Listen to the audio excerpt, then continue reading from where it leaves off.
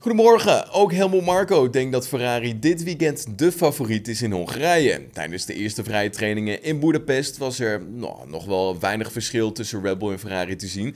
En ook McLaren kende een prima sessie. Nou, dit is wel echter vaker op de vrijdag, waarna het gat op de zaterdag alleen maar groter wordt. Toch wordt er vandaag veel regen verwacht en volgens Marco zou dit wel eens in het voordeel van Red Bull kunnen zijn. Want met droog weer weet hij namelijk niet of Red Bull kan tippen aan de snelheid over één ronde van Ferrari. Regen is het enige dat ons een kans kan geven tegen de Ferrari. De veranderingen die we hebben gemaakt vanaf de eerste vrije training waren allesbehalve productief en ze gaven ons helemaal niks. Alles lijkt een stuk erger te zijn geworden. We moeten een betere compromis zien te vinden, want de superioriteit van de Ferrari op de mediums is echt beangstigend.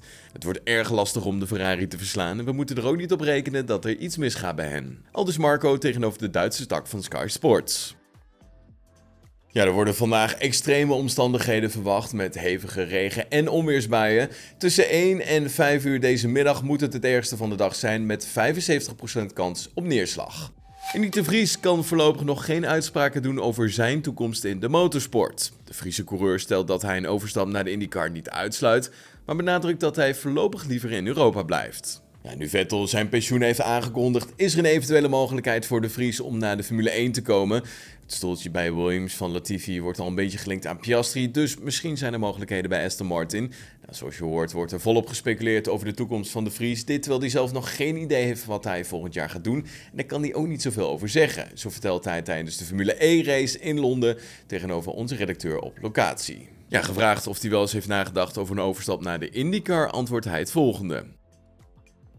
Ik heb natuurlijk IndyCar getest en dat vond ik een hele mooie ervaring en goed om een keer te hebben gezien. Hoewel de regerend wereldkampioen nooit nooit zegt, benadrukt hij wel dat een overstand naar Amerika voorlopig nog niet aan de orde is. Op dit moment zit ik nog midden in de Formule E en het racen in Europa, dus ik wil het niet uitsluiten, maar op dit moment denk ik dat de kans groter is dat ik in de Europese race scene blijf. In ieder geval op korte termijn. Al dus Nick de Vries.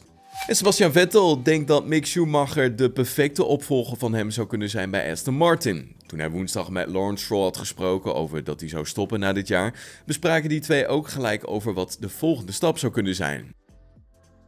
Ik heb mijn mening, ik heb Mick heel hoog zitten. Uiteraard ben ik niet geheel objectief, want we hebben een nauwe band, maar ik denk dat hij wel een geweldige rijder is. Hij leert snel, hij blijft leren waar anderen stilvallen of niet langer progressie boeken. Hij heeft kwaliteiten, maar goed, is ook heel erg jong en heeft weinig ervaring. Ja, het is niet mijn beslissing en ik geef mijn mening als daarom gevraagd wordt, maar uiteindelijk moet het team de keuze maken. Zo laat hij weten tegenover motorsport.com.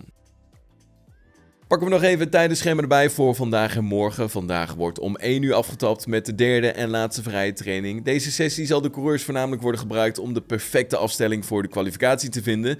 Wat het bepalen van de startopstelling gebeurt vervolgens om 4 uur in de middag. En de race, de Grand Prix van Hongarije, gaat morgen om 3 uur in de middag van start. Ja, vanmiddag is het dus tijd voor de kwalificatie in Hongarije. Laat je top 3 voorspellingen achter in onze comments.